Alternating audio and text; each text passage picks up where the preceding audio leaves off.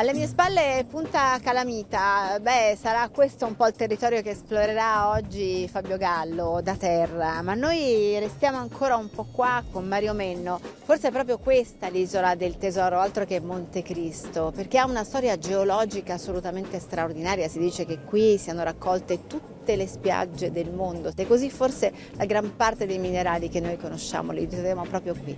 Sicuramente sì, nonostante le sue piccole dimensioni, perché si parla di poco più di 200 km quadrati, racchiude una miriade di rocce e una miriade di minerali preziosi. Considerata da tanti scienziati di questo campo l'Eldorado dei minerali. C'è tantissimi trattati che partono dal Settecento arrivano fino ad oggi su minerali, pietre, rocce, sulla sua formazione. Ci sono oltre 160 minerali all'Elba. Non a caso sono nati gli itinerari geologici che portano veramente tutti i turisti alla scoperta di questi percorsi fantastici. Potremmo dividere l'isola in tre aree, questa è una delle tre. Questa è la fascia orientale, quella della mineralizzazione pura a ferro però in realtà l'Elba è stata prima scoperta per il rame e solo dopo per il ferro. Oggi la vediamo molto verde, lussureggiante, eccetera, eccetera, ma se noi fossimo capitati qui 150 anni fa avremmo visto pontili di carico delle navi, tutto disboscato, tutte le miniere a nudo, perché questa che abbiamo alle spalle è un'antica barriera corallina, questo bianco, mineralizzata a ferro.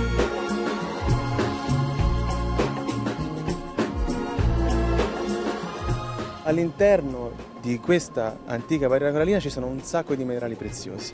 Le più leggendarie, le più ricercate sono le famose tormaline testa di moro dell'Elba, Belle. bellissime, e le acqua marina, che non altro che beriglio puro, la tipica acqua marina tanto amata dalle donne, che ha un colore quasi come quello dei tuoi occhi, quel verde celeste, vengono proprio da San Piero in Campo. Parliamo di pietre preziose, sul serio, eh?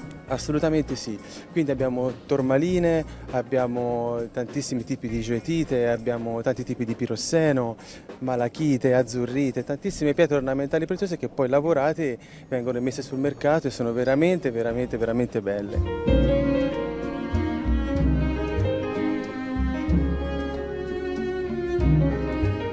Detto che lui per mestiere è portato a cercare i segreti e i tesori dell'isola. Sì, perché lui fa un mestiere molto particolare, vuoi raccontarcelo? Oltre al geologo ho deciso a un certo punto di rendere anche la mia, la mia professione, anche applicarla alla ricerca di quella materia che secondo me oggi è la base di tutto, cioè l'acqua. La ricchezza, il bene più prezioso di ogni isola, l'acqua, l'ultimo dei tesori da cercare. Assolutamente sì, per l'Elba l'acqua è veramente veramente importante perché in realtà non ha, oggi non ha prezzo. Questo fai tu di mestiere, il cercatore d'acqua? Sì, assolutamente sì. Io parto da una base che è una base scientifica, Naturalmente a volte mi avvalgo anche di qualche radomante perché naturalmente anche loro negli anni hanno raccolto tante informazioni. Come la trovi? Come la senti? Soprattutto vado alla ricerca di faglie, di formazioni geologiche particolari. Ci sono alcune rocce che contengono l'acqua e altre che non la contengono. E la cosa più bella è quando attraversa magari 100-150 metri di polvere, veramente polvere, poi a un certo punto comincia a finire la polvere e arriva all'acqua. È quello il momento più bello del mio lavoro. Guardate quanto è bello.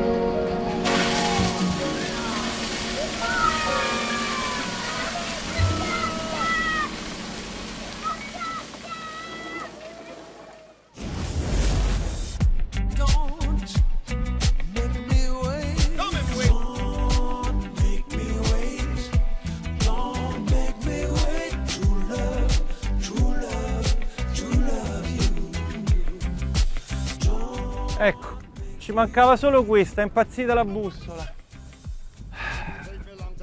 Però forse ci sono. Questi sono degli ex macchinari.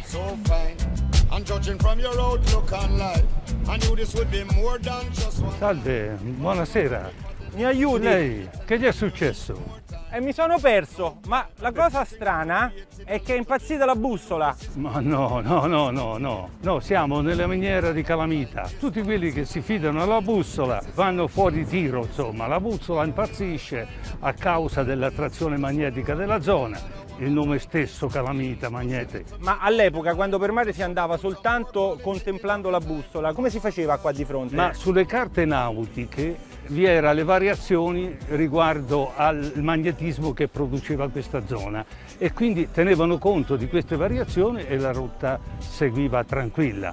Ma, lei, Ma lei- dov'è che devo andare? No, io alla miniera, a- a- E poi alla galleria devo arrivare. Ah, no. alle gallerie. Ecco, ecco, ecco Ma lei tutte queste cose come le sa? Ma io le so perché ci ho lavorato 30 anni qui in queste miniere. Questi sono impianti che provvedevano alla miscelazione del minerale, poi là sotto c'era il pontile di caricazione, le navi si mettevano sotto, caricavano il minerale e il nostro minerale di ferro arrivava a Taranto, a Piombino, a Bagnoli, perché eh, questa era la miniera più importante d'Italia.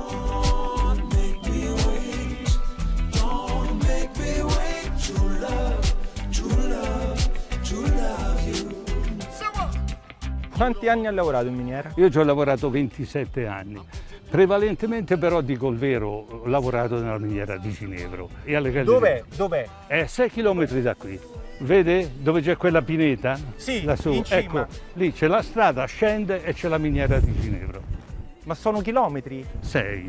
Sei. Grazie. Ma la bussola se la dimentichi.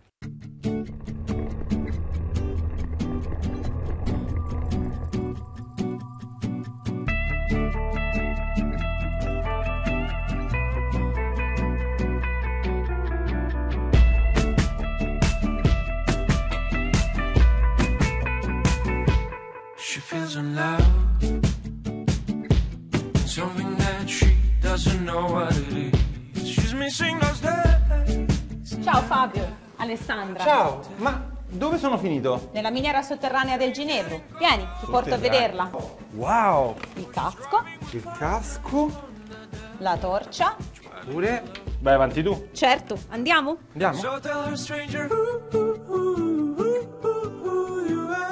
Queste erano le miniere più importanti dell'isola d'Elba. Qui sotto hanno estratto magnetite.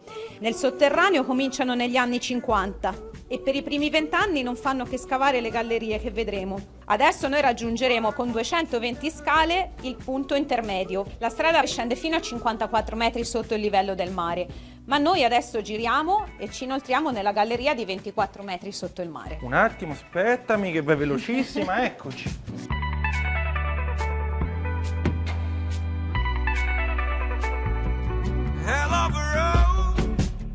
Vedo la luce in fondo al tunnel. Sei nella coltivazione nord. Questa enorme voragine è nata in dieci anni di estrazione. Immagina questo punto pieno di magnetite. Cioè qui era tutto pieno? Esatto. In dieci anni di estrazione hanno svuotato completamente una grossa fetta della miniera sotterranea e poi, dato che scavavano dal basso, ma ahimè anche verso l'alto, hanno assottigliato sempre di più il soffitto della miniera che poi verso gli ultimi anni del lavoro è crollato. Cioè, qua si resta veramente a bocca aperta. È immensa, quanto sarà profondo qui sotto? Arriviamo fino a 54 metri sotto il livello del mare e la stiamo guardando proprio dalla metà della galleria, 24 metri sotto. Qual è l'importanza delle miniere oggi all'Elba? La miniera oggi è importante perché ci racconta una storia, la storia degli elbani prima del turismo, dei nostri avi, dei nostri nonni, è un salto nel passato. Senti Alessandra, io da qui non me ne andrei mai, però devo tornare indietro perché voglio farmi finalmente un bel giro in bicicletta. Beh, la strada la sai, è la stessa dell'andata. Da solo? Se vuoi. Ah sì, certo, grazie. Eh. Ciao, ciao Fabio, buon ciao, viaggio. Ciao. Era qua, qua in fondo a destra, seguo le rotaie. Facile, no? She feels in love, but she doesn't know. She feels in love, but she doesn't know.